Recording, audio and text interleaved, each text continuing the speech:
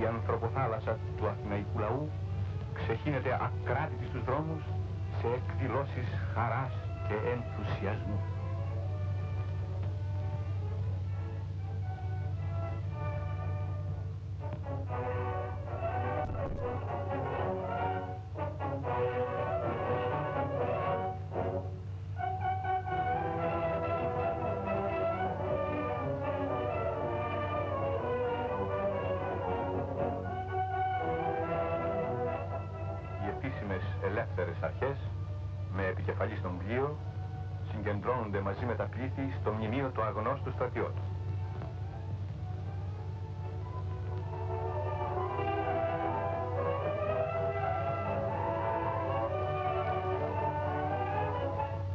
Ο Υπουργός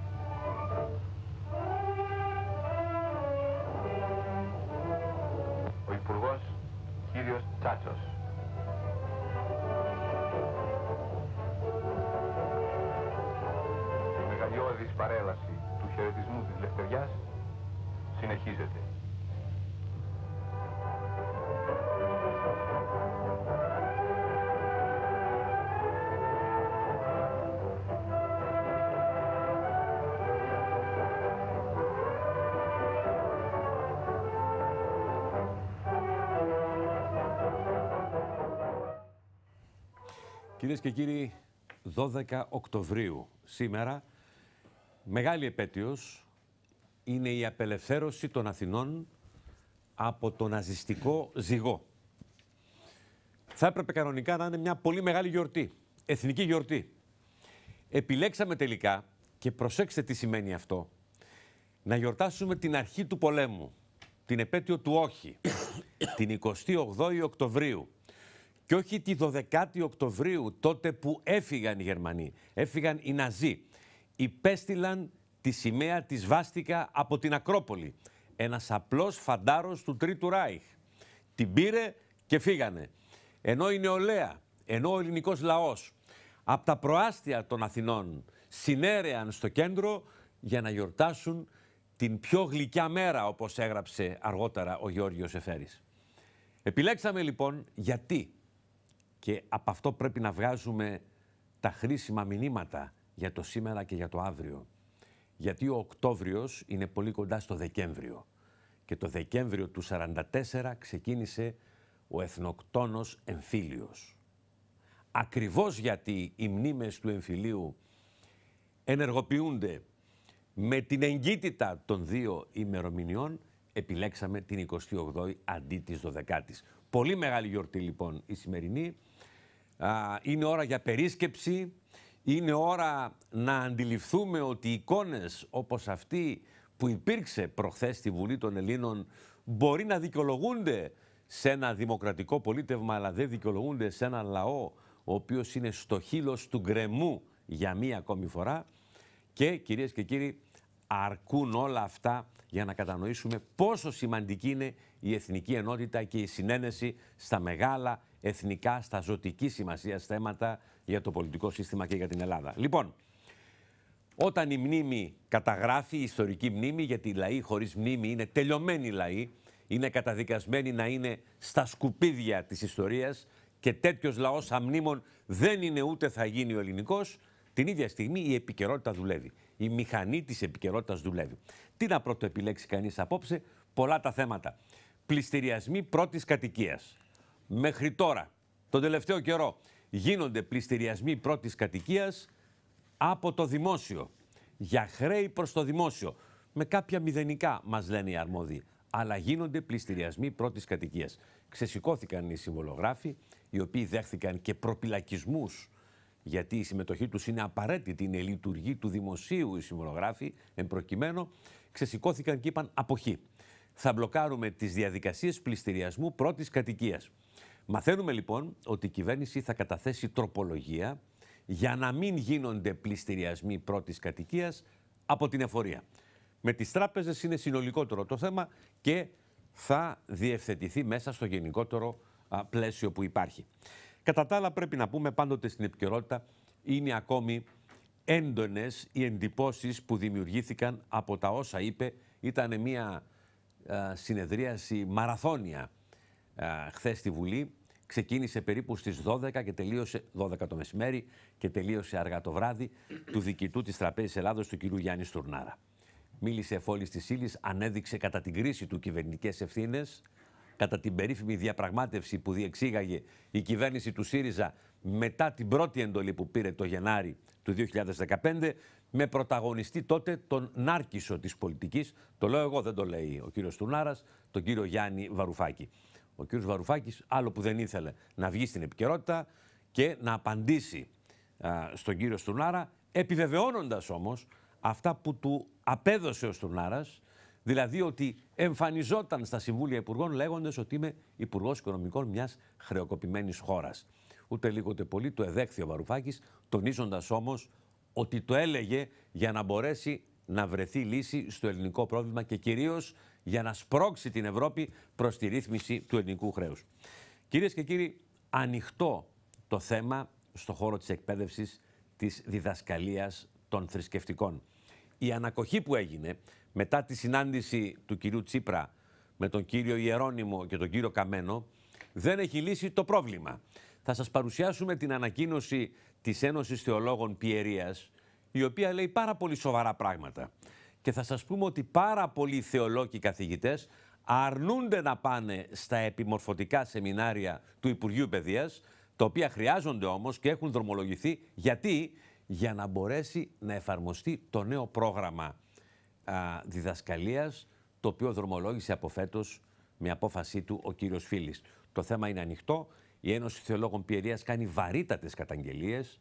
Λέει ότι έτσι η κυβέρνηση σπρώχνει προς την αθεία και την πολυθρησκεία τα παιδιά και τονίζει ότι από τη στιγμή που παιδιά εβραϊκού θρησκεύματος, παιδιά μουσουλμανικού θρησκεύματος, παιδιά βουδιστικού θρησκεύματος έχουν το δικαίωμα να επιλέξουν το δικό τους ομολογιακό μάθημα και σωστά λέει η Ένωση Θεολόγων Πιερίας, γιατί και οι Ορθόδοξοι που είναι πλειοψηφία σε αυτή τη χώρα δεν έχουν και αυτοί το δικαίωμα να κάνουν το ίδιο. Λοιπόν, πολλά και σημαντικά στην επικαιρότητα. Θα τα διεξέλθουμε με τέσσερις εκλεκτούς καλεσμένους. Γιάννη Στέφος, βουλευτής Ιωαννίνων του ΣΥΡΙΖΑ, καλώς ορίσατε. Γεια σας. Έχετε εξηγείωση και με τα θέματα εκπαίδευσης. Μεγάλη και νομίζω ότι θα είναι καθοριστική σημασία η συμβολή σας στην εκπομπή. Θόδωρος Φορτσάκης, ε, αρμόδιος για θέματα παιδείας της Νέας Δημοκρατίας, καθηγητής στην Νομική Αθηνών, βουλευτής επικρατείας. Καλώς ορίσατε. Καλησπέρα σας. Κώστας Πανταζής, γραμματέας τομέα εργασίας της Δημοκρατικής Συμπαράταξης. Καλησπέρα. Καλώς ήλθατε. Φτάσαμε κύριε Πανταζή, όχι μόνο να μιλάμε για κατώτατο μισθό, να μιλάμε και για υποκατώτατο μισθό. Έτσι. Εκεί, εκεί έφτασαν τα χάλια μας. Και βεβαίως Κωνσταντίνος Παλιόρας, πρόεδρος της Πανελλήνιας Ένωσης Θεολόγων. Κύριε Παλιόρα, Καλησπέρα σας. ευχαριστώ που ήρθατε. Ξέρω ότι μένετε σε ένα χωριό στη Φθιώτιδα.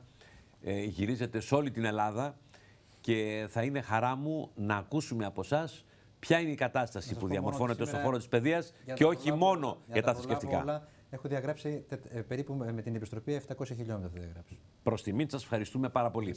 Λοιπόν, χωρίς άλλα προλεγόμενα, εγώ θέλω να πάω στον κύριο Στέφο και να το ρωτήσω, κύριε Στέφο, ε, τις τελευταίες μέρες έγιναν πληστηριασμοί πρώτης κατοικίας. Ε, αυτά έχει υποσχεθεί η κυβέρνηση του ΣΥΡΙΖΑ τουλάχιστον πριν τις εκλογές. Κοιτάξτε, υπάρχει ένα τεράστιο θέμα. Ας έχουμε υπόψη μας ότι το 2009 οι πληστηριασμοί που έγιναν ήταν 52.000. Το 2010 οι πληστηριασμοί ήταν περίπου 48.000. Το 12, το 13 και το 14 ε, οι πληστηριασμοί ήταν λιγότεροι. Το 2015 δεν είχαμε πληστηριασμού για τον απλούστατο λόγο ότι είχαμε την αποχή των δικηγόρων. Το 2016 συσσωρεύτηκαν οι πληστηριασμοί αυτοί, ωστόσο όμως δεν αφορούν τις περιπτώσεις κατοικιών οι οποίες προστατεύονται από τον νόμο. Ξέρουμε πάρα πολύ καλά ότι κατοικίες οι οποίες ε, μέχρι το ποσοστό μεταξύ 180 και 240.000 που είναι το μεγάλο εύρο των κατοικιών στην Ελλάδα προστατεύονται, έχουν ενταχθεί στον νόμο Κατσέλη και μέχρι το 18 δεν γίνεται συζή- συζήτηση για αυτές. Μα αφού, αφού έγιναν πληστηριασμοί και μάλιστα από το ελληνικό δημόσιο για θέματα. Πληστηριασμοί, πληστηριασμοί που Φορολογικών αφορούν οφειλών. κατοικίες οι οποίες εμπίπτουν στον νόμο Κατσέλη, όχι, αλλά πληστηριασμοί οι οποίοι μπορεί να είναι της τάξης κατοικίε των 400-560 και δεν προστατεύονται, είναι πολύ πιθανό να υπάρχουν τέτοιοι. Τέτοιες περιπτώσεις. Ωστόσο όμως, αυτό το οποίο μου προξενεί εντύπωση σήμερα είναι. Πάντως είναι να ψηλές οι έχουμε- αντικειμενικές αξίες, κύριε Ναι, Στέφο. Το ξέρετε. αυτό είναι μια άλλη ιστορία και θα συμφωνήσω Το μαζί ξέρετε σας. και μπορούμε να το- κάνουμε μια βόλτα στο αυτό- κέντρο της Αθήνας. Παντού, σε όλη Να τη δείτε χώρα. διαμερίσματα Αυτό- τα οποία δεν κάνουν ούτε 150.000 και αντικειμενική τους είναι 350. Αυτό Έτσι. είναι κάτι το οποίο ας το συζητήσουμε, ας το αποφα... συναποφασίσουμε ω πολιτικό σύστημα και ως Υπουργείο Οικονομικών να δούμε πού μπορεί να πέσουν. Αυτό είναι μια άλλη κουβέντα. Την οποία μπορούμε να την κάνουμε και δεν αφορά μόνο την Αθήνα, αφορά όλη την επικράτεια. Ωστόσο όμως, όσες κατοικίες έχουν ενταχθεί στον νόμο Κατσέλη και είναι προστατευμένες σε ό,τι αφορά και τα εισοδήματα των δανειοληπτών, που το έβρος και αυτό Τότε προς κυμαίνεται τι η κυβερνητική μεταξύ- τροπολογία, την οποία μαθαίνουμε ότι θα γίνει. Πιθανόν καλύπτει κάποιες περιπτώσεις οι οποίες μπορεί. Δεν, δεν, δεν, δεν έχω υπόψη μου. Ειλικρινά σας λέω από εσάς το ακούω σήμερα. Δεν είναι έτσι. Εντάξει, αν Είναι είναι, έτσι. έτσι θα το δούμε και τη στιγμή που θα κατατεθεί και τι ακριβώς αφορά. Πάντως για να Αλλά έχετε εικόνα, να έγιναν ξέρουμε- πληστηριασμοί πρώτης Αλλά- κατοικίας αλλά, α- τις ακούστε, τελευταίες εβδομάδες. ακούστε, Είχαμε και πληστηριασμοί- επεισόδια αρκετοί α- Σας ε, λέγω ανεβλήθησαν, στοιχεία. Διαμαρτύρονται οι Ναι, συμβολογράφοι ναι, γιατί σας προπυλακίζονται. λέω- Σας λέγω κάτι, ότι το, το 2009 είχαμε 52.000 πληστηριασμούς και δεν είχε ακουστεί ποτέ τίποτα. Και μέχρι και το 2014 είχαμε χιλιάδες πληστηριασμούς. Εντάξει, αυτή είναι η πραγματικότητα. Είστε και δεν βέβαιος ότι είναι έτσι; Απολύτως έτσι. Συμφωνείτε, κύριε Απολύτως Μπορτσάκη; έτσι. Μπορεί όμως να μην κατέληξαν αυτοί οι πληστηριασμοί. Αυτό θέλω να Αυτό πω. είναι Ε, ότι, όχι. ότι γινόντουσαν Κύριε όμως και Στέφανε, ότι από- Μιλήστε εσείς, θα με- και ότι κρεμόντουσαν στο πινάκι, δεν αμφισβητείται. Το ότι δεν οριστικοποιήθηκε ο πληστηριασμός είναι άλλο θέμα. Να κάνω μια παρατήρηση, κύριε Παναγιώτοπουλο. Έγιναν τόσοι πληστηριασμοί Όχι, δεν στο έγιναν παρελθόν, πληστηριασμοί. κύριε Όχι, Φωτσάκη. κοιτάξτε, Και για του να- κρύβατε. Αλλά τους και Όχι, κρύβατε. τελείως. παρακαλώ. συνήθως. Επειδή άκουσα και τον κύριος Πρωθυπουργός στη Βουλή να το λέει, πρόκειται για μεγάλη ανακρίβεια. Έγιναν προγράμματα πληστηριασμών. Πρόγραμμα πληστηριασμού σημαίνει ότι προγραμματίζεται να γίνει ένας πληστηριασμός, ο οποίος όμως δεν κατέληξε. Για ποιο λόγο; Και δε- Για διάφορους λόγους της Ένας εποχής λόγος είναι εκείνης ότι δεν μπορεί κατέληξαν. η δικαιοσύνη να προλαβαίνει να το κάνει. Ε, όχι, δεν, δεν προλαβαίνουν. Δεν- Ματαιώθηκαν όλοι. Όπω θυμόσαστε τότε, λόγω των αντιδράσεων, είχαν ματαιωθεί όλοι οι πληστηριασμοί. Δεν έχω γνώση αυτή τη στιγμή να Η σας πω αν πρόθεση κάποιοι πολιτική κατέληξαν ή υπήρχε, όχι. ε, να Δεν έχω συζητήσουμε μπροστά μου αυτό. τα στατιστικά στοιχεία, αλλά είναι απολύτως βέβαιο ότι αυτοί οι αριθμοί δεν ανταποκρίνονται στην πραγματικότητα. Δεν υπήρξαν πληστηριασμοί, υπήρξαν προγράμματα πληστηριασμών και δεν έγινε, από, από όσο θυμάμαι εγώ, πληστηριασμοί δεν γίνανε καθόλου. Όχι, μην το λέτε έχουμε- αυτό, γιατί ξέρω εντάξει. περιπτώσεις ανθρώπων που Ωραία, βάζουν δεν στα επιμένω σπίτια στο τους. καθόλου. Δεν Εντάξει, επιμένω το στο καθόλου καθόλου. είναι τελείως Πάντως, Ναι, κύριε, ε, είναι πάντως κρίμα δεν- το δεν κράτος ανταποκρίνονται να μην μπορεί στους να αριθμούς βλέπει αυτούς. ποιος είναι ο μπαταχτή, Ναι. Δε- ποιος αυτό είναι ο λοιπόν πονηρός ανακριβές.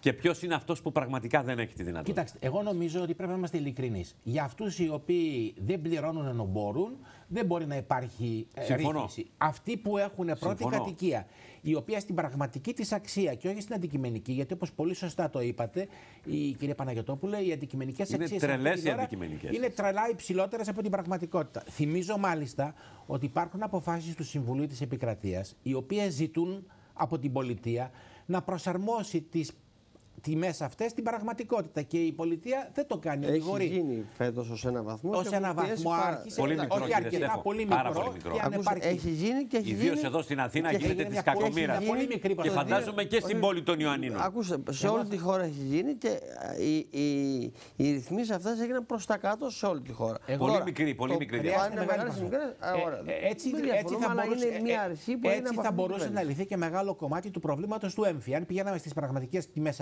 ακινήτων, θα πέφτε ο έμφυα από τις υπερβολές που βρίσκεται σήμερα και πάλι θα παρέμενε υψηλός, αλλά πάντως σε πολύ λογικότερα σημεία από ό,τι είναι σήμερα. Για τους πληστηριασμούς πρέπει να είμαστε σαφείς. Πρέπει με κάθε τρόπο οι άνθρωποι που δεν έχουν άλλη κατοικία και που το ύψος το κόστος της κατοικίας αυτής δεν υπερβαίνει βεβαίως ένα όριο λογικό, να προστατεύονται και πρέπει αυτή η προστασία να δοθεί άμεσα. Είναι λοιπόν επίγον η κυβέρνηση να ξυπνήσει και να προστατεύσει αυτούς τους ανθρώπους και να τιμήσει τις άλλοτε υποσχέσεις, τις αλλοτινέ υποσχέσεις. Έχει γίνει αυτό με τον Νομοκρατσέλη, διαφορετικά κύριε Φορτσάκη. έχει γίνει Έχει γίνει πολύ και σε μερικά. πολύ δεν μεγάλο βλέπετε. βαθμό και το ξέρετε καλά. Ναι, κύριε Στέφανα, βλέπετε ότι Εσείς τώρα δυστυχώς- τα παρακολουθείτε αυτά στη Βουλή Κοιτάξτε, και δεν βλέπετε μπορείτε να το όμως, είδατε. βλέπετε όμως ότι έχουμε πληστηριασμούς οι οποίοι γίνονται αυτή την ώρα και οι οποίοι είναι καταφανώς αντίθετοι με αυτό το οποίο θα έπρεπε να συμβαίνει. Πρέπει Πρέπει λοιπόν αυτό να σταματήσει. Ε, ε, και δεν θα, μπορέσει, ωραία. δεν θα Θα- μπορέσουμε εύκολα θα μου δοθεί ο να λόγος. ελέγξουμε μια κατάσταση η οποία θα λάβει διαστάσεις δικαιολογημένα έκτροπες. Δηλαδή, όταν όλος χάνει το σπίτι του διότι βγαίνει για 500 ή 100 ή 1000 ευρώ Είχαμε για, και τέτοιες, για, ε, για περίπτώσεις. παράλογα ποσά. Είχαμε περίπτωση στο Είναι Λαύριο για λογικό. 500 είναι ευρώ. άνθρωποι που έχουν τις οικογένειές τους μέσα και οι οποίοι πρέπει να προστατευτούν. Δεν μπορούμε να είμαστε παράλογοι. Ιδίως μάλιστα όταν ο επισπεύδον είναι το δημόσιο. Το δημόσιο βεβαίως Έτσι. πρέπει να πάρει μέτρα να εισπράξει αυτά Στις που του οφείλονται. περισσότερες περιπτώσεις Όχι ήταν όμως επισπεύδον το ανάλγητα δημόσιο. Και με τρόπο υπερβολικό. Πρέπει να δει πώς θα προσαρμόσει Σαφής. τις απαιτήσεις σε Κύριε αυτό το οποίο Πανταζή, τι χρειάζεται λέτε να για αυτό το στραφεί. θέμα; Κύριε Παγιωτόπουλε, πραγματικά ε, είμαι πολύ ικανοποιημένος που ο κύριος Στέφος επικαλείται συνεχώς τον νόμο Κατσέλη. Γιατί είναι νόμος που ψήφισε η κυβέρνηση του Πασόκ και προστάτευσε πλήρως και απόλυτα την πρώτη κατοικία για όσο χρονικό διάστημα διαρκούσε το πρόγραμμα δημοσιονομικής προσαρμογής της χώρας και το μνημόνιο. Πλήρως και απόλυτα. Σήμερα λοιπόν που μιλάμε γίνονται πληστηριασμοί. Και γίνονται πληστηριασμοί για μερικές εκατοντάδες ευρώ χρέη με επισπεύδοντες στου Δήμους, δηλαδή το ελληνικό δημόσιο. Και αυτά είναι ανεπίτρεπτα και απαράδεκτα πράγματα. Δεύτερον, Έχετε ένα σήμερα. παράδειγμα να μου πείτε. Βεβαίως, Ένα ο, Δήμο- παράδειγμα. ο Δήμος Αθηναίων για 700 Γιατί- ευρώ χρέη στο γιατί άκουγα Δήμο για το κάνει Δήμο- πληστηριασμό άκου- πρώτη άκουγα για το κατοικία, Δήμο κύριες Στέφο. Θεσσαλονίκης και μιλάμε για Κύριε πλησία Στέφο, 12 εκατομμυρίων και μεγάλο Κύριε λάβο. Στέφο, εδώ Πείτε πέρα, εδώ πέρα ε, δεν λέμε πράγματα τα οποία δεν συμβαίνουν. Μπο- Μπορείτε μπο- να ανατρέξετε. συχνά στα πάνελ λέμε Μπορείτε πράγματα να που ανατρέξετε. συμβαίνουν. Τουλάχιστον από τη δική μου Κύριε πλευρά. Στεφό, και το ένα και Μπορείτε- το άλλο και οι δύο έχετε δίκιο. Μπορείτε να Και οι δύο ανατρέξετε περιπτώσεις λοιπόν στα υπήρξαν. παραδείγματα. Και τα- αυτό που λέτε εσείς Ε, με υπήρξε συγχωρείτε, ναι, και αυτό γιατί που λέει ο κ. είναι- Πανταζής. Εγώ Εντάξει, επικαλούμε, είναι κύριε καλά να Παναγιοτόπουλε, πούμε. σε Και τα όρια δύο. παραδειγμάτων επίσπευσης πληστηριασμών από το Δήμο Αθηναίων Ναι. για Συνέβη, 700, συνέβη. 600 και 500 ευρώ. Σας λέω, συνέβη Εδώ από το λοιπόν ρεπορτάζ, πρέπει να συνέβη. υπάρχει μια σαφέστατη παρέμβαση προστασίας της πρώτης κατοικίας του Έλληνα πολίτη. Και τώρα, επίσης, κύριε Στέφανα, τα λέμε και με το όνομά τους τα πράγματα. 1η-1η 18, εσείς με φαρδιά πλατιά την υπογραφή του κυρίου Τσίπρα υπογράψατε να μην υπάρχει καμία προστασία της Κάνετε- πρώτης κάνετε κατοικίας. μεγάλο λάθος. Ε, τι Κάνετε είπατε; Τεράστιο λάθος κάνετε. Τεράστιο. Κάνω τεράστιο Δεν λάθος. το γνωρίζω το Με δική σας υπογραφή. Πρώτη πρώτου του 18, δηλαδή περίπου στα 15 μήνες από τώρα, Προστατεύονται. δεν θα υπάρχει καμία προστασία της πρώτης κατοικίας. Ποιος σας το λέει; Άρα λοιπόν, Από πού χρειάζεται, τεκμηριώνεται; Χρειάζεται Από από, πού το, από το τεκμηριώνεται, μνημόνιο σας το οποίο παρακαλώ. υπογράψατε. Αλήθεια λέτε. Από το μνημόνιο Πώς το το οποίο, υπο- τεκμηριώνεται από το αυτό; μνημόνιο το Με οποίο ποιο τρόπο; υπογράψατε. Τώρα, κύριε Παναγιωτόπουλε, Είναι ακριβές θα αυτό που πρέπει λέτε. να υπάρχει και να, και να αφήσουν τώρα αυτά για τις τροπολογίες. Πρέπει να υπάρχει σαφέστατη, σαφέστατη ρύθμιση προστασίας της πρώτης κατοικίας, γιατί η συγκεκριμένη κυβέρνηση ψήφισε και την επίσπευση του δημοσίου και καμία προστασία της πρώτης κατοικίας όταν επισπεύουν το δημόσιο και τη χαλάρωση σε ό,τι αφορά την αντικειμενική αξία των ακινήτων και την μείωση σε ό,τι αφορά τις υποθέσεις μεταξύ τα των κάνει ιδιωτών. αυτά, πιστεύετε, Δεν ξέρω θα αν θα τα κάνει. κάνει. Τώρα για τους παταξίδε που είπατε, ε, έγινε ε, χθες στη Βουλή Στη Βουλή. ο κύριος Τουρνάρας, η ένας ακρόασή στους του. έξι. Έτσι, είπε λοιπόν ότι περίπου 15 με 16% είναι παταξίδε. Α στραφούμε λοιπόν σε αυτό το κομμάτι. Να μπορεί να το δούμε βρει το ποιοι κράτος. είναι. Να δούμε ποιοι Μπορεί είναι, να το βρει το να κράτος. λειτουργήσουν Ο κύριος λοιπόν Τουρνάρας οι είναι υπηρεσίες. υπουργός οικονομίας Να και λειτουργήσουν οι μας υπηρεσίες του οδήγησε σε αυτή δημοσίου. την κατάσταση Να που δούμε είμαστε. ποιοι είναι αυτοί οι μην οποίοι το λησμονούμε. έχουν και δεν Ακούτε τι πληρώνουν. Είπε. Έχουν Λέει, και δεν ακούτε πληρώνουν. τι είπε; Υπήρξε υπουργός οικονομίας χαϊδεμένος του Πασόκ. Ναι. Πολύ χαϊδεμένος και μας οδήγησε εδώ που είμαστε. Σε τι αναφέρεστε; Αναφέρεστε στη Είμαι δήλωσή σαφής. του για το Βαρυφάκη και Είμαι τις σαφής. ανοησίες του κυρίου Είμαι Βαρυφάκη. σα- Ο ακούστε, Δραγασάκης όταν και ο μιλάτε Χουλιά- σε ένα πάνελ, ο καταλαβαίνετε Δραγασάκης ευγενείς. και ο Χουλιαράκης τα είπαν Ακούστε, αυτά. Ο Έτσι. κύριος Τουρνάρας Ναι. υπήρξε χαϊδεμένος υπουργός του Ο Πασόκ, κύριος του κύριου Τουρνάρας Σιμίδη, είναι και διοικητής της οδήγησε Τράπεζας τη της χώρα στην Ελλάδος, καταστροφή. επικυβερνήσεω Μην το σα αυτή τη λησμονείτε στιγμή. αυτό το πράγμα. Καθόλου Λοιπόν, μην το λησμονείτε. Έτσι, δεν το λησμονώ. Και δεν είχατε Όπως δεν προστατεύσει λησμονώ, απολύτως τίποτα. όπως δεν Μας λησμονώ, οδηγήσε στο πρώτο μνημόνιο να μην το συζητήσουμε. Το ξέρετε πολύ καλά. Το κόμμα ήταν στην κυβέρνηση τότε. Μάλιστα, μάλιστα. Λοιπόν, Φτάσαμε εκεί που φτάσαμε στο προφανέ. Ευτυχώς που εσείς ακολουθείτε διαφορετική πορεία. Ευτυχώς που ακολουθείτε διαφορετική πορεία. Εν πάση Και περιπτώσει- φέρτε εν τρίτο πάση μνημόνιο, περιπτώσει, χειρότερο μην είστε έμφυα, τόσο αλλαζονικοί. χειρότερους φόρους. Επιστρέφετε τα χρήματα που Η πήρατε από τις αλαζονία τράπεζες. μακριά από εμά. Ε, Επιστρέφετε τα χρήματα που πήρατε από τις τράπεζες και τα χρωστάτε. Κύριε Στέφο, γίνεται Πληρώστε κυβέρνηση τα μέλη του κόμματος πάνω μας τα σε οποία τα ψέματα, πουλήσατε εκβιασμούς, και μην μιλάτε απειλές έτσι όπως μιλάτε. Δεν και είναι δυνατόν να το δηλητήριο κάνετε. της πολιτικής ζωής του τόπου. Έτσι Αυτό γίνεται το έκανε ο κυβέρνηση. ελληνικός λαός στις Έτσι 25 γίνεται Σεπτέμβρη. κυβέρνηση. Ε, λοιπόν, Αυτό το έκανε ο δεν θα ελληνικός σας λαός. χαριστούμε Δεν έχει καθόλου. πάθει αμνησία. Με συγχωρείτε. Γνωρίζει πολύ Δεν καλά θα σας ποιοι χαριστούμε, είμαστε κύριε Στέφο και ποιοι μου. είστε. Δεν- αν σας ενοχλεί, δεν σας χαριστούμε. Καθόλου δεν με ενοχλεί. Δεν μας χαριστήκατε με τα ψέματά σας Καθόλου και δεν το με ενοχλεί. δηλητηρίασμα της πολιτικής Καθόλου. ζωής του τόπου. Δεν θα σας χαριστούμε καθόλου. Ούτε Οδηγήσατε για τα τη 6 χώρα δις που στην χαρίσατε καταστροφή με τα στην μνημόνια, Ευρωπαϊκή δεν κάνετε Τράπεζα, απολύτως ούτε τίποτα. για τις ανοησίες Δεν του κουνήσατε Βαρουφάκη που κόστησαν δεκάδες δις. δαχτυλάκι σας καθόλου. Ούτε, ούτε, δεν κουνάω το δάχτυλο σας, έτσι κάνω. Όχι, για δεν κουνήσατε τίποτα. το 2016. Για εκφράσεως. τίποτα δεν θα σας χαριστούμε. Έτσι, σε αυτό Λοιπόν. να είστε απόλυτα βέβαιοι. Δεν μας- Ο δεν μας κύριος αφορά Βαρουφάκης, λοιπόν, Ο κύριος Μάριο Τουνάρα για τον κύριο Βαρουφάκη είπε αυτά ακριβώς που είπε. Και ο κύριος Κουλιαράκη για τον κύριο Βαρουφάκη και ο κύριος Δραγασάκης για τον κύριο Βαρουφάκη και για τις ανοησίες του. Και Τώρα για τις να διαρροές ρωτήσω του κάτι, κύριου Βαρουφάκη. πριν αλλάξουμε θέμα, να ρωτήσω κάτι. Λέει ο δανειολήπτης, ο απλός συμπολίτης μας. Λέει βρε παιδιά, αφού ας πούμε τα στεγαστικά καταρχήν και στη συνέχεια και τα επιχειρηματικά, τα κόκκινα δάνεια, αφού θα έρθουν τα hedge funds, οι γήπες του παγκόσμιου καπιταλισμού, που μπαίνουν, χτυπάνε, παίρνουν κέρδη, τα βάζουν στην τσέπη και φεύγουν και πάνε σε άλλη χώρα ευκαιρίας μεγάλης που κλειδονίζεται από την παγκόσμια κρίση. Αφού λοιπόν πρόκειται τα δάνεια αυτά να πουληθούν μπυρ παρά για 10-15% τους, της συνολικής αξίας τους στα hedge funds, γιατί δεν δίδεται η δυνατότητα στον δανειολήπτη να τα πάρει σε αυτό το Μείωμενο. ύψος; Κοιτάξτε, Αυτό είναι Υπάρχει μια- δυνατότητα. Αυτό Ε, είναι ε, να- να Υπάρχει. πω Ένα σχόλιο. Για να πει ο κύριος Σήμερα υπάρχει. Και εγώ, σας- δεν υπάρχει. Ε, Δεν να- υπάρχει, εγώ όχι, αυτό ξέρω, δεν όχι, υπάρχει. Δεν υπάρχει. Ένα λεπτό. Ε, Δεν υπάρχει αυτή η δυνατότητα. Αυτή η δυνατότητα Και δεν μπορεί να υπάρχει. υπάρξει νομίζω κιόλας. αυτή Δηλαδή, αλλά- κύριε αλλά- Φορτσάκη, εγώ- να- επιτρέψτε μου, να να σας πω- καλεί η τράπεζα, να καλεί η τράπεζα και να λέει, έλα εδώ κύριε, αυτό θα πουληθεί. Το δάνειό σου είναι 100.000 ευρώ. Πάρ' το είναι- στην τιμή είναι που θα το δώσω. Ακριβώς. Αυτό δεν υπάρχει. Ή έστω και λίγο παραπάνω. Δεν υπάρχει. Κοιτάξτε, έγινε ολόκληρη συζήτηση. Τοποθετήθηκε ο κύριος Σταθάκης επανειλημμένα. Ο κύριος Σταθάκης είπε, τον άκουσα με τα αυτιά μου να λέει, ότι δεν μπορεί να γίνει αυτή η ρύθμιση. Και Το ότι, είπε, ναι. Το είπε, ναι. Και είπε ότι, εν πάση περιπτώσει, υπάρχει ο κώδικας διοντολογίας των τραπεζών, ο οποίος επιτρέπει στις τράπεζες και τις υποχρεώνει μάλιστα από δοντολογική άποψη να συζητήσουν με τον ο, δανειζόμενο, με αυτόν που έχει δανειστεί, τη δυνατότητα να του προσφερθεί το δάνειο σε μια τιμή. Όχι στην τιμή που θα παραχωρηθεί, σε μια τιμή.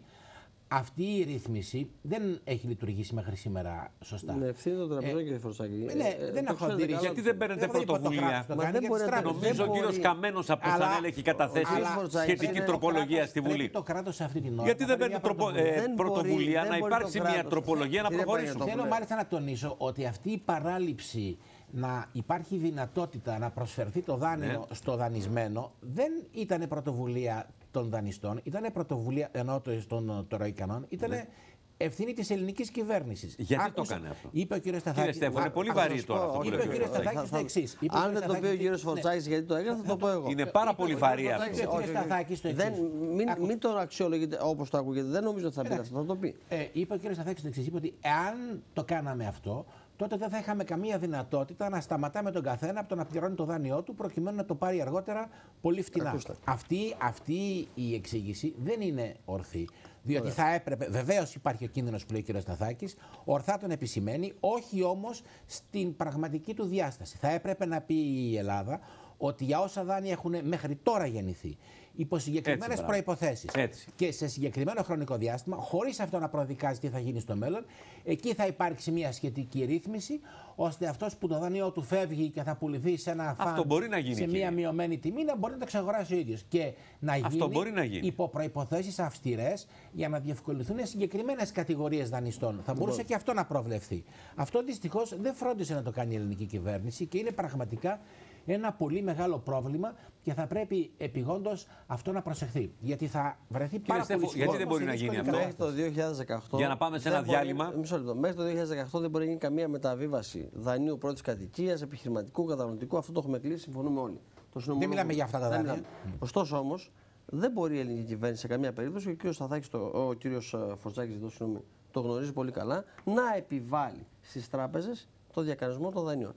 Έχει συμφωνηθεί ένα πλαίσιο το οποίο από την πλευρά των τραπεζών τηρείται, ωστόσο, αν ένα δάνειο το οποίο αυτή τη στιγμή ε, είναι οφειλόμενο ποσό 150.000 και η τράπεζα το πουλήσει για 30.000, θέλει να το πουλήσει ένα φαντ, ισχύει αυτό που είπε ο κ. Σταθάκης, όχι ως νομολογία, ως άποψη πολιτική, ότι οι τράπεζες επειδή ακριβώς είναι πειράχας, Πρέπει επειδή να- ακριβώς είναι αυτή που πρέπει είναι. να δεσμεύονται όμως και να το Μα κάνουν. δεν μπορεί νομικά να το κάνει και ο κ. Σταθάκης Μπορεί, το ξέρει. μπορεί. Δεν Θα μπορείς. μπορούσε να Εγώ δώσει- νομίζω γιατί μπορεί. μπορούσε να Γιατί δώσει εσείς δεν δικαίωμα- Εγώ νομίζω μπορεί. Γιατί Δικαίωμα εσείς- επιλογής. Γιατί εσείς στην Προαίρεσης. Δημοκρατία φέρτε Σου εσείς δίνω- ένα νομοθέτημα στην Δημοκρατία και θα ήθελα να το ψηφίσουμε εμείς Σου και όχι δίνω- επί του θέματος. Μακάρι. τη δυνατότητα- Να σας δούμε να συνονοηθείτε όλοι. Εγώ ειλικρινά Καταθέστε να σας εσείς δούμε να ως συνονοείστε κόμμα όλοι. της μείζωνος αντιπολίτευσης ένα νομοθέτημα επί του θέματος και θα δούμε ακριβώς πώς θα εξελιχθεί. Η Μάλιστα. αλήθεια Λοιπόν. είναι ότι δεν μπορεί, δεν μπορεί να, Ελάτε να πάμε σε διάλειμμα. να υποχρεώσει τις τράπεζες. Μπορεί όμως Μπορεί να, να- δώσει ένα πρώτο δικαίωμα επιλογής στο Αυτό, δανειολήπτη. κύριε Έτσι Αυτό. ακριβώς Ήταν αυτό. υποχρεωτική η Έτσι. Πρέπει να γίνει προσφορά. κύριε. Συμφωνούμε Πρέπει ότι να δεν μπορεί γίνει να υποχρεώσει για να τράπεζα. προστατεύσουμε την ιδιοκτησία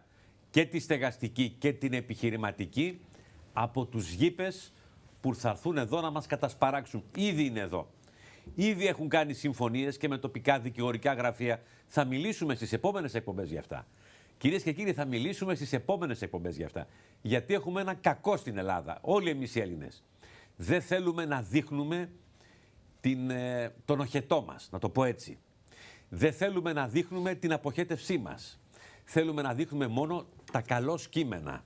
Για παράδειγμα, πόσα βιβλία υπάρχουν σήμερα στις προθήκες των μεγάλων ελληνικών εκδοτικών οίκων που αφορούν αυτά που έγιναν στα τέσσερα χρόνια της γερμανικής κατοχής. Ποιες οικογένειες συνεργάστηκαν, ποιοι πήραν θέσεις, ποιο- ε, πού βρέθηκαν μετά, ποιοι είχαν συναλλαγές με το τότε κατοχικό καθεστώς, επικαλούμενοι την γλώσσα του ρεαλισμού. Κάποιοι το λένε και σήμερα. Ρεαλισμός, ομός ρεαλισμός. Τα καλύπτουμε αυτά. Και όμως είμαστε ο λαός, αποδεικνύεται και από την έρευνα του BBC. Δεν ξέρω αν το είδατε και το διαβάσατε και το ακούσατε, ότι πριν το Μάρκο Πόλο οι αρχαίοι Έλληνες είχαν πάει στην Κίνα και ότι ο πύληνος στρατός που είναι εμβληματική εικόνα, ένα εμβληματικό δημιούργημα για τον κινέζικο πολιτισμό, αποτελούσε μία έμπνευση και ως πράξη και μία εφαρμογή που διδάχθηκε στους Κινέζους από τους αρχαίους Έλληνες γλύπτες. Δεν το λέω εγώ, το λέει το BBC. Σπουδαίος λαός είμαστε, αλλά τα άπλητά μας θέλουμε να τα κλειδώνουμε στην τουλάπα, ούτε να τα βλέπουμε, ούτε να τα μυρίζουμε. Λοιπόν, νομίζουμε ότι σε αυτό το θέμα πρέπει να βρεθεί λύση και πρέπει να συνονοηθούμε όλοι για να βρούμε τη λύση. Ο Μπαταχτσής, ο κακοπληρωτής, ο κακόβουλος πρέπει να υποστεί τις συνέπειες. Αλλά αυτός που μπορεί να σώσει την επιχείρησή του, που είναι σε κόκκινο δάνειο ή το σπίτι του, πρέπει να τον βοηθήσουμε να τη σώσει, αφού μπορεί να πληρώσει το 20%, το 15%, δηλαδή στο ύψος που θα έρθει το αρπακτικό φαντ να αρπάξει την ελληνική περιουσία. Λοιπόν, πάμε γρήγορα γρήγορα σε ένα διάλειμμα και μετά θα αλλάξουμε θέμα και θα έρθουμε στο χώρο της εκπαίδευσης όπου χάνει η μάνα το παιδί και το παιδί τη μάνα. Σε λίγο.